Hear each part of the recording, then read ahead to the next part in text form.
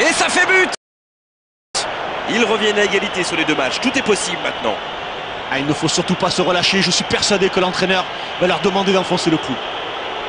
Ah, quelle frappe Parfaitement maîtrisée qui vient se loger dans le coin droit du but.